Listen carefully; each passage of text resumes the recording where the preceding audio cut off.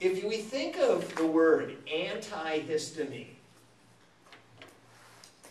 or histamine blockers is really what, as we're going to see, that's really what they are.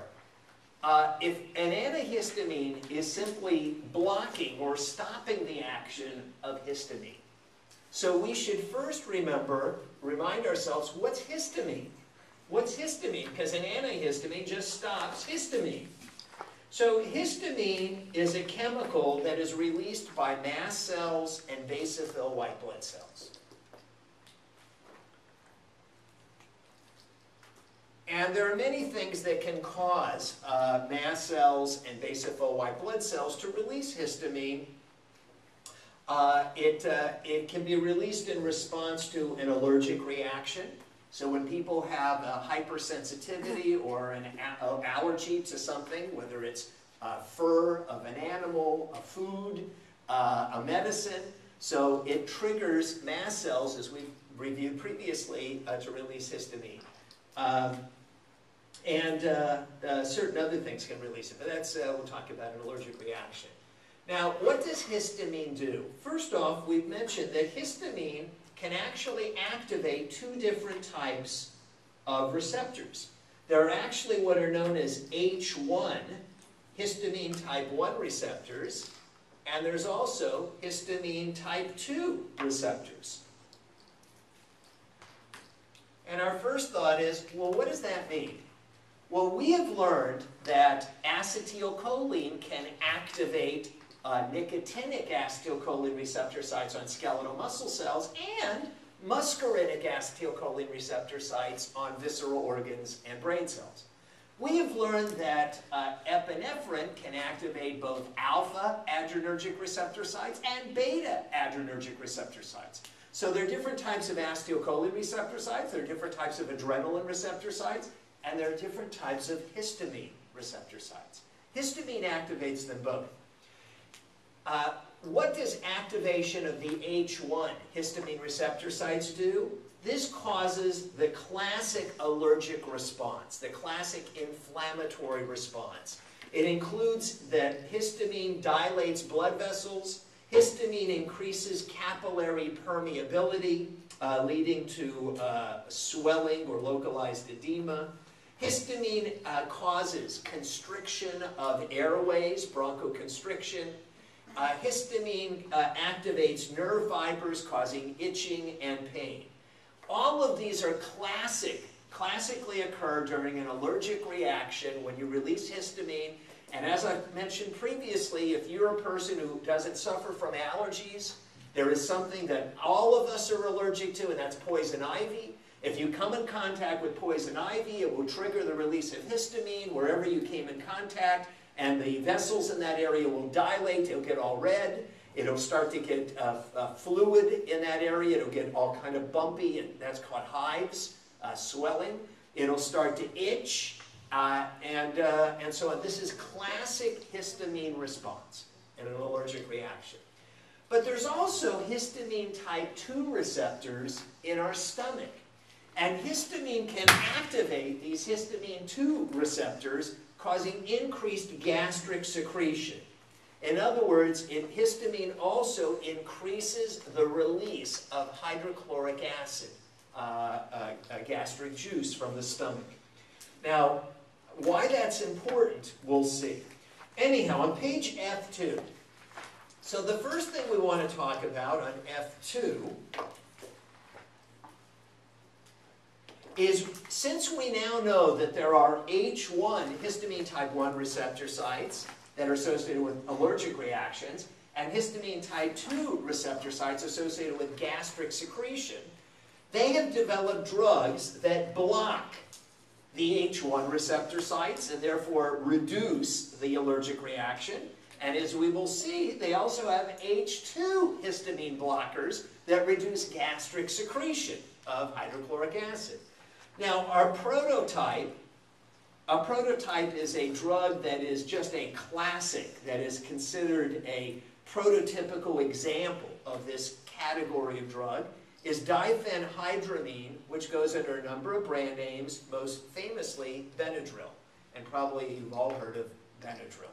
So uh, Benadryl uh, uh, is um, blocks the uh, and other H1 antihistamines block H1 receptors. They also block acetylcholine receptor sites in the central nervous system, in the brain. It's just a, a side effect that not only do they block the H1 uh, histamine receptor sites, they also block the muscarinic acetylcholine receptor sites in the brain.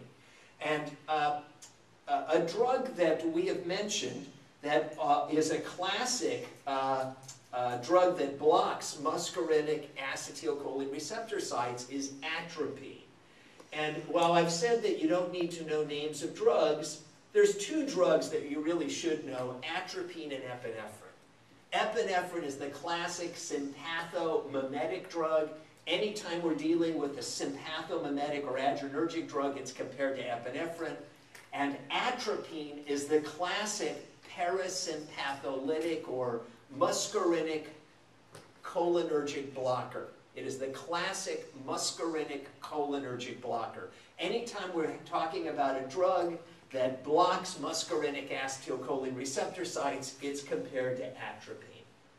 So it's a muscarinic cholinergic blocker. And antihistamines have a little bit of this atropine-like action. They similarly block muscarinic cholinergic receptors as, uh, primarily in the central nervous system. Why is that relevant? We'll see in a moment. So why is Benadryl given? It is used to uh, uh, reduce allergic and inflammatory reactions. It's used to treat allergic rhinitis.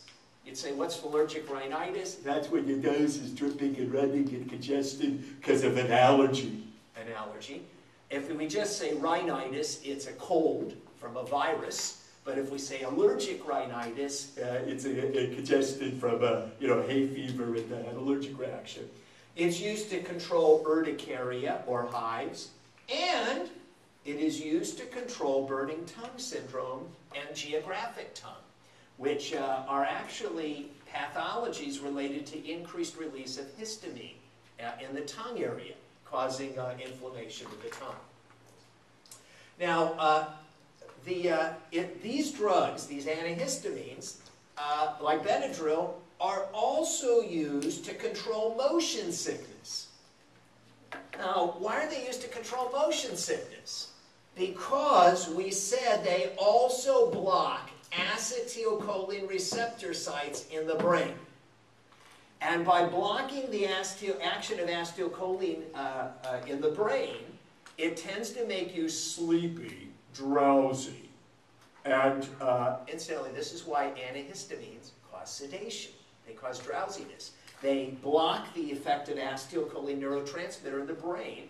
Acetylcholine's action in the brain is excitatory, and by blocking the action of acetylcholine in the brain, it causes drowsiness, CNS depression, and it also depresses the, uh, uh, the, the uh, uh vestibular reflex center in the brain that uh, causes you to get not, and the vomiting, the, the vestibular reflex center that creates motion sickness. It slows down or depresses that center in the brain, the vestibular reflex center.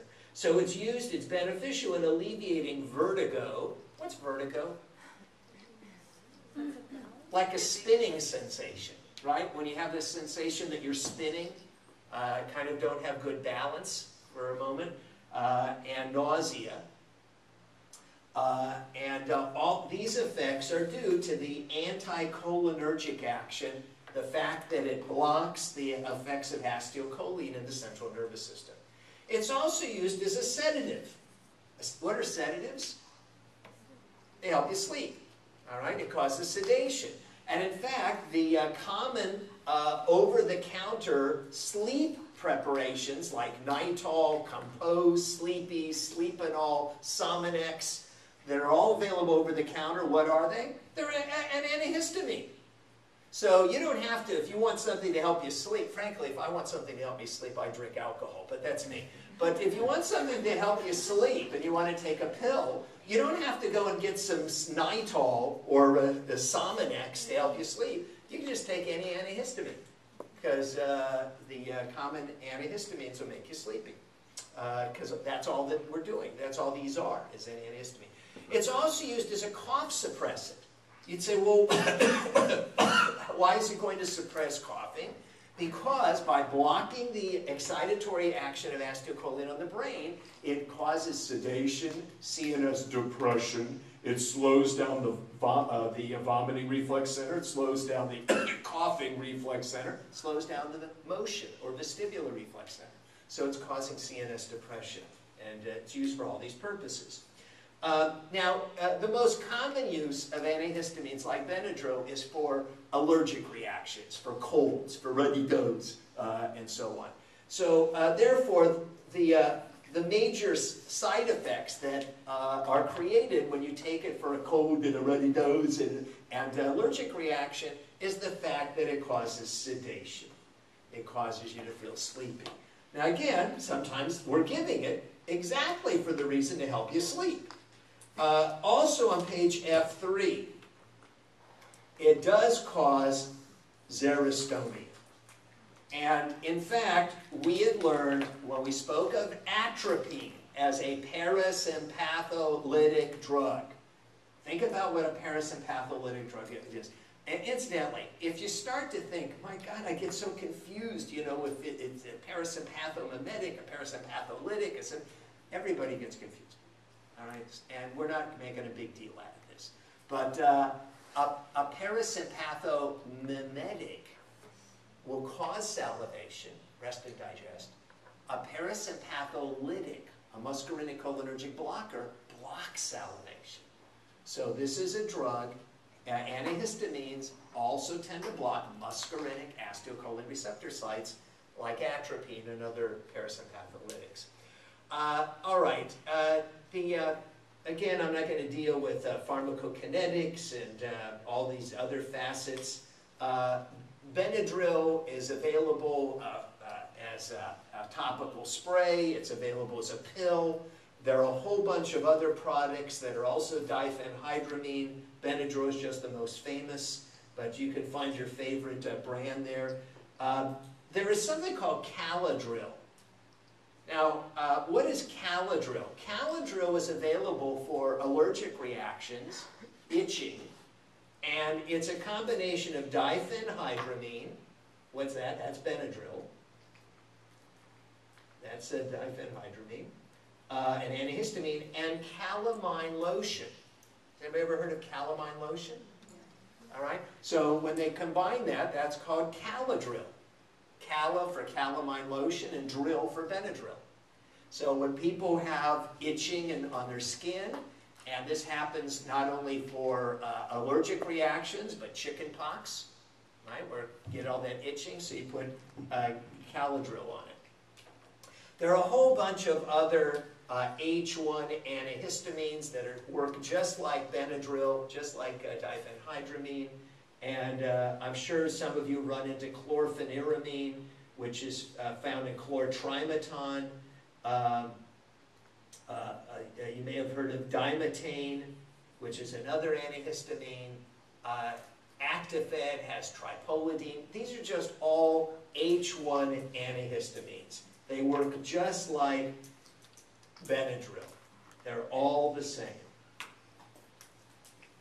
So again, we might ask, why are there so many drugs that are basically work like Benadryl? Because a lot of people buy them, right? They're, uh, they're available not only as prescription, but over the counter.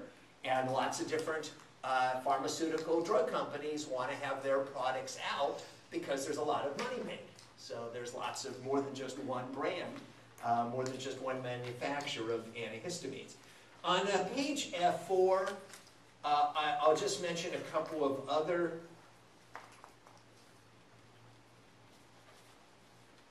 uh, antihistamines, H, again, just like Benadryl, just like Benadryl. You may have heard of Phenergan. Has anybody ever heard of Phenergan? So Phenergan uh, is another antihistamine. It's actually promethazine.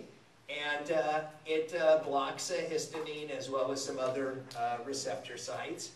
And uh, it's used as an antihistamine and an antiemetic. What's antiemetic mean? What's emesis? Emesis means to vomit. So antiemetic means it stops vomiting, it stops nausea. And so it's used to reduce nausea, it's used to reduce motion sickness, as are all the other antihistamines, including Benadryl, we just said. It, it, causes CNS depression, and it can be used as a cough suppressant, as a vomiting suppressant, as a motion suppressant. So it's used for all those actions on the brain. Obviously, it crosses the blood-brain barrier, doesn't it? And uh, Dramamine. What's Dramamine? You've all heard of Dramamine. You've taken Dramamine for motion sickness. What is it? An antihistamine. So if you don't have Dramamine, take any antihistamine. They all do the same thing. Uh, another one is, uh, another one you may have heard of is Marezine. Same thing, motion sickness. Uh, Meclizine goes under a brand name, not only Dramamine, but Antivert. I kind of like that brand name, Antivert. You know what that implies? Anti-vertigo. They, the brand names are always very clever. They try to think of clever ways for prescribers to remember it. It's a lot easier to remember Antivert than Meclizine. Um, and uh, another one you may have heard of is uh, Vistaril or Atarax. Let me put uh, this in a context where I personally run into this. Uh, our uh, first daughter, uh, when she was uh, six months old, developed uh, herpetic angina in her mouth. Anybody know what herpetic angina is? Yeah. So that's a herpes virus in the mouth, and so she was like six months old, uh, and uh, she had all these herpetic lesions in her mouth, and obviously it causes a lot of pain.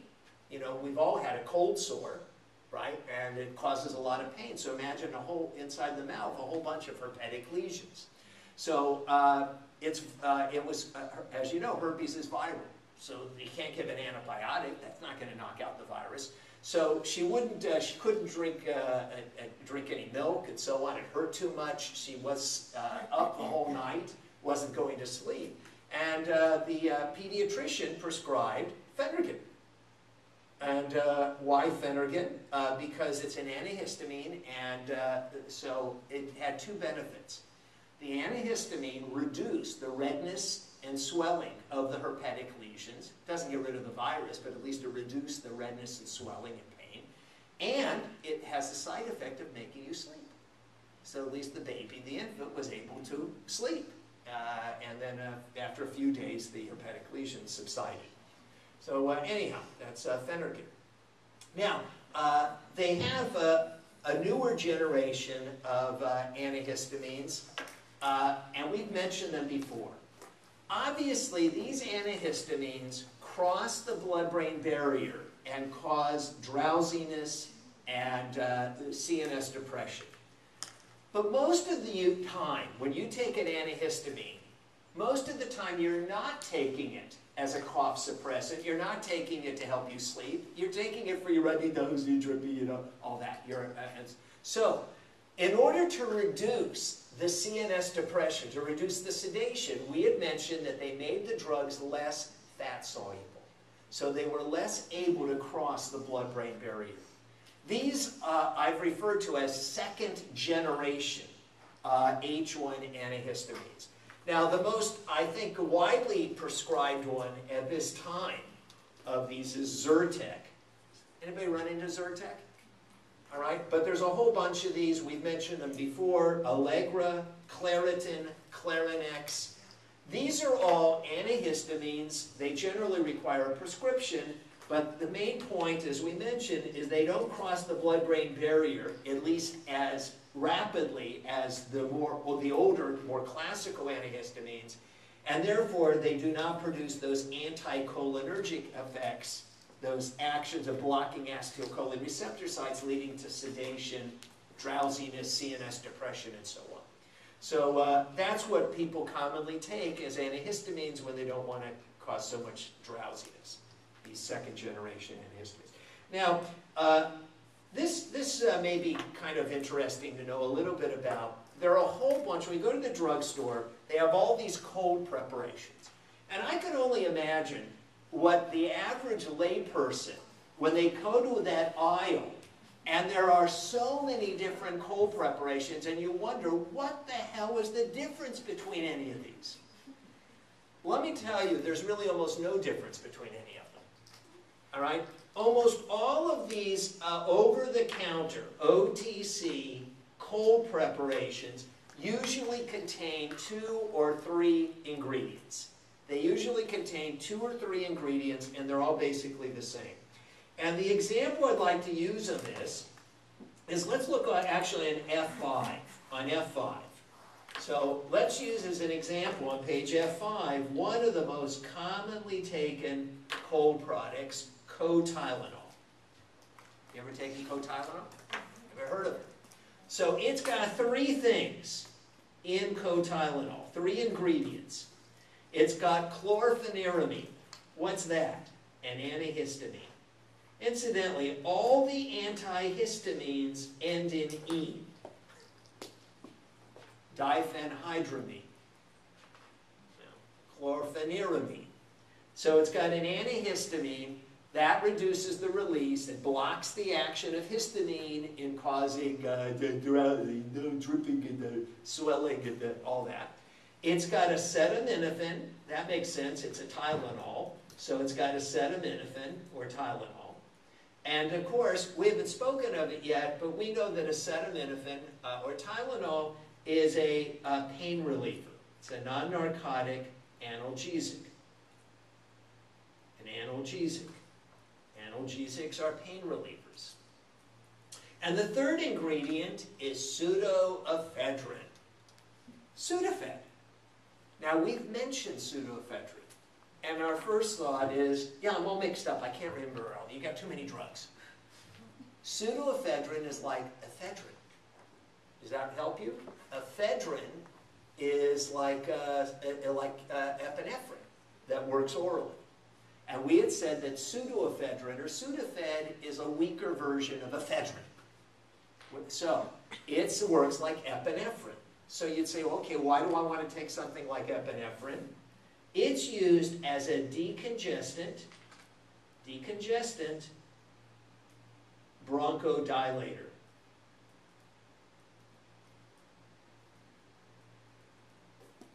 And we might say, okay, why would something that works like epinephrine, works like epinephrine, be used as a decongestant bronchodilator? Because pseudoephedrine, which works like epinephrine, is sympathomimetic, causes most blood vessels to constrict. Epinephrine causes most blood vessels to constrict, and that includes constricting of the vessels in your nose to reduce swelling and dripping, decongestant. And epinephrine and other sympathomimetics have what effect on airways? They dilate airways. So it brought a bronchodilator. So this is the classic kind of approach that in all, in all of these over-the-counter cold medications, now uh, they are providing relief of the symptoms from cold. Because when you've got this cold, which is a virus, a viral infection, or it's an allergic reaction, might be taking it for an allergy, so uh, blocking the action of histamine, uh, having a pain reliever, and uh, helping to reduce the droopy, dirty nose and uh, dilating your airways provides symptomatic relief uh, for uh, the symptoms of cold. But let's be clear on this. Are any of these ingredients antiviral? No. So even though you're taking it for that cold, remember, a cold is caused by a virus. And so it may make you feel better, but it hasn't done anything against the real underlying cause of the cold, which is a virus. So it provides symptomatic relief, makes you feel better, but it doesn't do anything against the virus. Yep? Uh, so can you get the store brand too if it carries? They all work the same. They're all the same.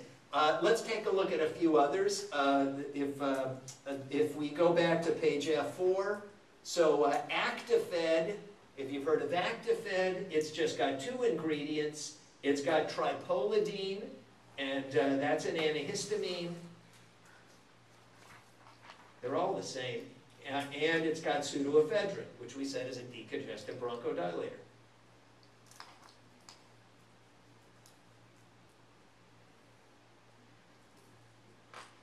All right, and what about Allarest? Still market Allarest? Okay, Allarest is an chlorpheniramine, an antihistamine, and phenylpropanolamine. Uh, they've reformulated it, but that's another sympathomimetic, like pseudoephedrine. Uh, there, there, are a whole bunch of others. I, I, our goal here is not to go through all of them. Anybody ever hear of triaminic? All right, so what's triaminic? Uh, triaminic, this is on the bottom of F5. So triaminic is pyr uh, pyrilamine maleate, ene, it's an antihistamine. And the phenylpropanolamine, which I think they've reformulated now to, uh, uh, to uh, phenylephrine, but uh, it's basically just a decongestant bronchodilator and all these decongestant bronchodilators work like epinephrine. They are sympathomimetics.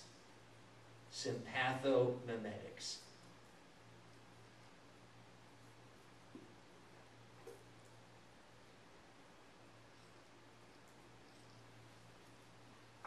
So they're all the same. You can look at all the packages. You will see almost all of these cold medications have two or three ingredients. It's almost always a decongestant bronchodilator and an antihistamine, and some of them also add a pain reliever, either acetaminophen or ibuprofen as a non-narcotic pain reliever or analgesic. All right, uh, on, uh, on the next page, um, which is uh, F6, not labeled, I just want to remind you, we've uh, spoken of this before, this is F6. This is, what this is showing on F6 is a mast cell.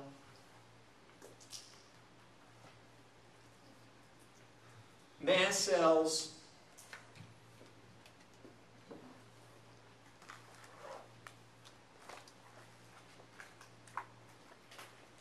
mast cells uh, release histamine and other chemical mediators of inflammation. What causes the mast cell to release these chemicals? So I'm just reminding you that what attaches to the surface of the mast cell are IgE antibodies. And IgE antibodies are the antibodies produced against allergens. Remember this? And so when an allergen, an antigen, attaches to the IgE antibodies on the surface of the mast cell, that triggers the release of histamine and other chemical mediators of inflammation that uh, cause uh, blood vessels to dilate, causes vasodilation, it causes activation of mucus secretion, uh, it causes uh, activation of nerve endings, causing itching and pain, it also, uh, up here, it can activate visceral smooth muscle cells to contract, and that's what leads to bronchoconstriction. So this is the actions of histamine in causing things like bronchoconstriction, vasodilation, itching, and so on. Now, we had mentioned that there's a second type of histamine receptor sites. The second type histamine type 2 receptors are located where? There in the stomach, in the wall of the stomach. Activation, when histamine activates the H2 receptors in the stomach, it increases gastric secretion. So activation of the H2 receptors in the stomach leads to increased release of hydrochloric acid. HCl. So, uh, with that in mind, uh, on page uh, G1, on G1, I'm going to come back to that point momentarily. On G1, I'll cover this very briefly, gastrointestinal drugs. I'm not going to say too much here. Uh, I'm, uh, the main one I want to speak of is GERD. Anybody know what GERD stands for? Good, wonderful. Gastroesophageal reflux disease or disorder. And uh, we know that uh, what's happening here in GERD is there's acid reflux uh, from the stomach up into the esophagus. And this, uh, this uh, can not only damage the inner wall of the esophagus, but this increased uh, in, reflux of acid can even increase acidity in the mouth, the oral cavity, leading to effects on the teeth and the mucosa of the mouth. Now, one of the things that people do for this acid reflux is they can take antacids. Uh, antacids will reduce the acidity. Basically, what uh, is in an antacid is a buffer. Uh, but on page G2, so I've mentioned some of the uh, common antacids that are taken, and these can include sodium bicarbonate, magnesium hydroxide, and aluminum hydroxide. I'm not asking you to know these. That's what Maalox is, if you've heard of Maalox. Tums is calcium carbonate. Uh, Rolaids is calcium carbonate, magnesium hydroxide. Uh, probably everybody has heard of Maalox, Tums, Rolaids. All of these uh, are antacids. They are buffers that reduce acidity. But here's really what I wanted to speak of. H2 blockers. And you'd say, what's that? So we had said that, there were, that histamine activates the secretion of acid, gastric secretion. So, they have developed drugs that block the histamine 2 receptors in the stomach and thereby decrease gastric secretion. This is exactly what we wrote here for pharmacodynamics.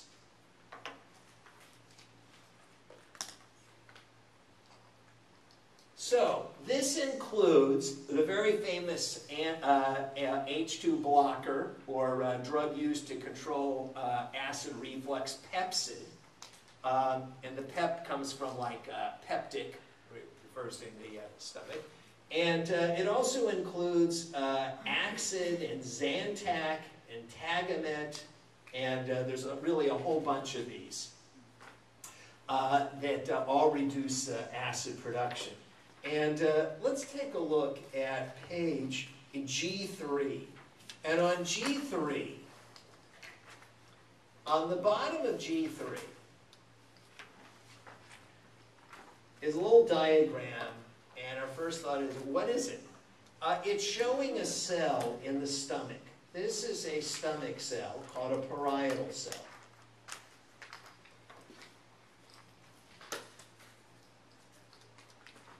And what's what? This is a stomach in this uh, a stomach in the cell. No, it's not a stomach in the cell. It's a cell in the stomach. So this is the stomach, and this parietal cell secretes hydrogen ions right? This is called hydrochloric acid. It secretes hydrogen ion into the luminar cavity of the stomach. So secretes uh, hydrochloric acid, hydrogen ion. And uh, the, uh, the mechanism by which this cell is secreting the hydrogen ion into the cavity of the stomach uh, it involves a pump, a tra active transport pump. And they call this active transport pump that secretes hydrochloric acid or hydrogen ions, they call it a proton pump. And our first thought is, yeah, why do they call it a proton pump? So I mentioned this once before. Remember that a hydrogen ion is really a proton. And if you're thinking, why is that? You'll remember that a uh, hydrogen atom a hydrogen atom has one proton in the nucleus and one electron orbiting around it. That's a hydrogen atom. All right, so it's got one proton in the nucleus with one electron orbiting. Now, what's a hydrogen ion? An ion is an atom that, a hydrogen atom that gave away its electron. So a hydrogen ion is just a proton that it has no electron, it gave it away. So all I'm simply explaining here is why this is called a proton pump. It's secreting hydrogen ions or protons. Now, you'll notice that what, there are three things that cause this cell in the stomach to secrete hydrogen ion. A hormone called gastrin, if you've ever heard of that. Histamine can cause this proton pump to secrete hydrogen ion, hydrochloric acid, and acetylcholine. Those are muscarinic acetylcholine receptor sites. And in case you're trying to think, yeah, what's that about? A parasympathomimetic is uh, a parasympathetic state is the rest and digest state, which includes increased gastric secretion. So uh, acetylcholine also activates this uh, secretion of hydrochloric acid. Anyhow, here's the point.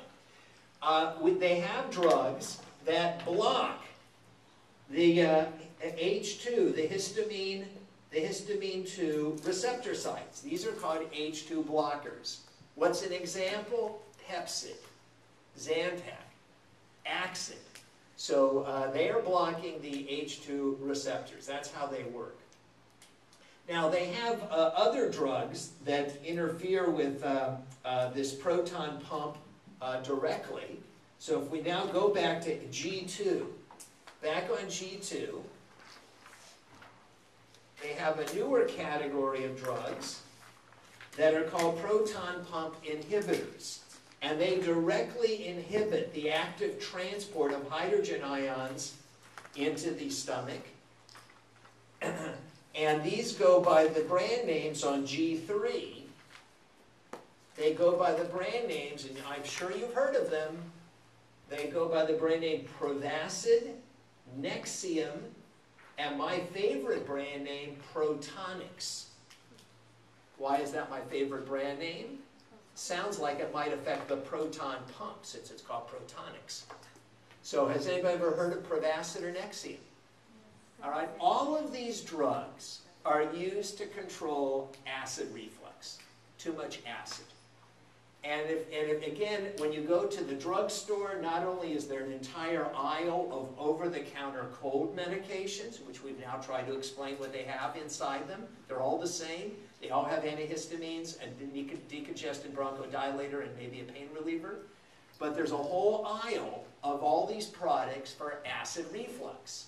And so they've got the uh, Pepcid and they've got the uh, uh, uh, uh which is a buffer uh, and Tums and Rolaids, and they've got Nexium and Prevacid and some of the Prilosec and so on, which directly block the proton pump or the secretion of hydrogen ion. So again, I don't think any of these are that important, but they're very common. And uh, you might ask, well, are, are there really that many people who suffer from acid reflux? And the answer is yes. And it becomes more common as you get older. And uh, the most important factor that tends to trigger or bring on acid reflux is eating too late at night, close to when you go to sleep. Because if you go to sleep with a full tummy, so uh, they, they, all that gastric juice in the stomach starts to flow backwards up your esophagus, and that's called acid reflux. So uh, th that's the main thing. And a lot of people like to go, you know, let's say Saturday night, let's get a pizza, 11 at night, right? 11.30, 12 midnight, let's have a pizza.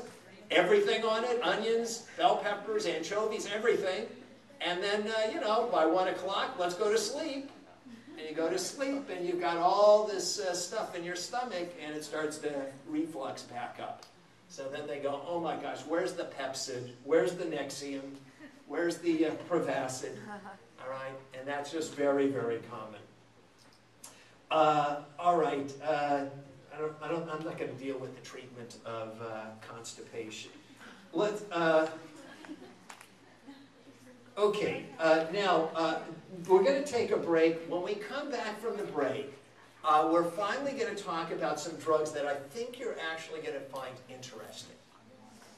finally. Uh, up to now, I think the drugs we've been talking about are important, but not necessarily interesting. But we're going to get into drugs that are used to deal with emotional problems.